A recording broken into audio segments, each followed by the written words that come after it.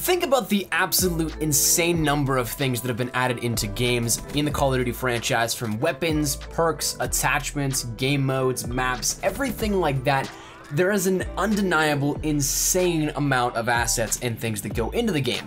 But what a lot of people don't realize is there's also a ton of things that never make it into the retail copy that you physically pop into your Xbox, PlayStation, or PC if you are a PC gamer. And as such, there's a lot of stuff that you either probably never knew about, never played with, or just never even saw in any way, shape, or form. So with this one, I'm gonna take a look at five guns that you guys probably have never seen and more than likely never played around with unless you actually got into the PC files, made the assets yourselves, and then put them into the game forcibly.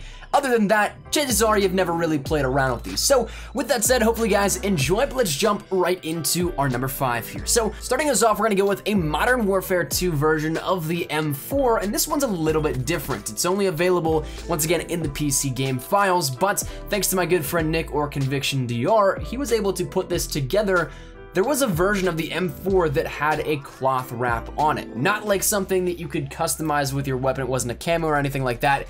It was simply a completely different version of the M4, but a cloth wrapped M4 at that. So there is nothing really different other than what we know of thus far. It's basically the same gun, same attributes, all that kind of stuff, but the only difference is that you can see there is a clear, distinct cloth wrapping around the barrel, as well as on the stock too. So it's something that perhaps was meant to be a winter camo, was it meant to be something entirely different? I guess we'll never know, but it ended up being cut and therefore was probably one of those weapons you never knew about. Number two up on this list is going to be the Remington 870 MCS. This was actually cut from two Call of Duty games, but there have been subtle variations of the weapon here and there, most notably in Black Ops 2, the Remington 870, but the MCS was cut from Modern Warfare 2 as well as in Black Ops 3 as well. This is something that from Modern Warfare 2 there's only a few texture files available for it, but in Black Ops 3 it's something that can actually be attained via the console and retains the same properties though as the Black Ops 2 version. It's also one of those ones that's been rumored as a DLC weapon since the beginning of the DLC weapons in Black Ops 3, and what's kind of fueled the fire is that it's popped up from time to time in imagery within Black Ops 3. It's also actually seen in the multiplayer map Rift from the Eclipse DLC. It's actually seen in one of the armories on that map. So a lot of people thought, is it gonna be coming? Maybe, maybe not. I guess we'll see. But Right now, it's still one of those weapons that was entirely cut from Black Ops 3. Moving along into number three, we're actually gonna be talking about my friend Nick or Conviction DR once again here at this one because he got us footage and actually remade a lot of this by scratch, which is awesome because there's only really texture files for this available in the game files. But number three up on this list is the MK12 SPR. It's a cut sniper rifle for Modern Warfare 3 that really only has texture files available for it, but does have that base imagery, which it does showcase what it looks like. So Nick was able to go in and make this model from basically scratch, it seems like, and thus putting it into COD 4 to show it off a little bit here for us. But it is something that has a very combination look between the M4A1 and the RS-ASS. So kind of a little bit of a hybrid between the two if you want to put it that way. You can see where the barrel is very similar to the RS-ASS, but the stock and the body itself is the M4A1s. So it's a really interesting weapon, but something that I definitely think would have been really cool to see in the full version of Modern Warfare 3.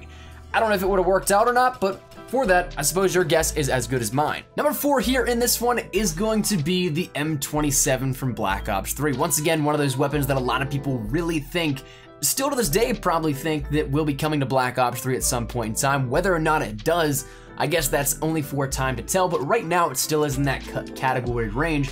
But the interesting part about this is there's evidence of this existing in the game files entirely in Black Ops 3. And it's something that even pops up in various different locations throughout both the campaign, zombies, multiplayer, you name it. So in the mission Lotus Towers, there's a crate of M27s that can be seen in the campaign.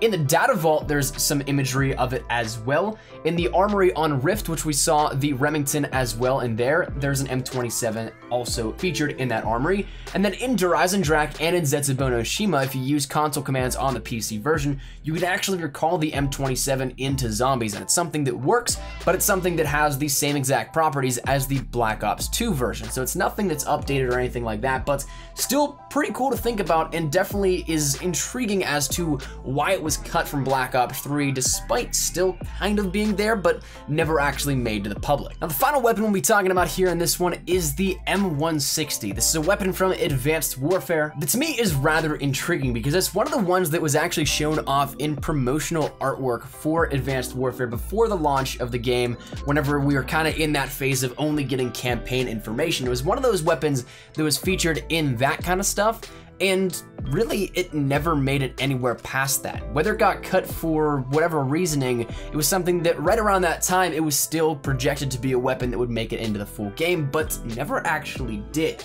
It's something that can be seen in some of the imagery for the mission Maximum Overdrive, as well as it's seen briefly on the mission Fission, but it's definitely something that's intriguing to me. Lucky for us though, YouTuber Mr. Jarny ended up actually pulling this out of the game files and once again getting us some footage here as a result, but we can see the assault rifle from Advanced Warfare in action as a result. And it shows just how buggy it is too at some points because if you look, you'll be able to see that some of the attachments are actually floating off a little bit further from the weapon. They're not actually connected. So it didn't really work out to be the greatest, I guess, because it was cut so early. Some of this stuff was not optimized, but it is what it is, and once again, that is a weapon you probably never got to play around with and probably never even knew about. So that said, that's gonna conclude this episode here. Hopefully you guys enjoyed. That said, drop your thoughts down there in the comment section down below. Did you guys know about any of these? Have you seen any of them in action, or have you maybe even ever played around with them at all in your experience too in the game files?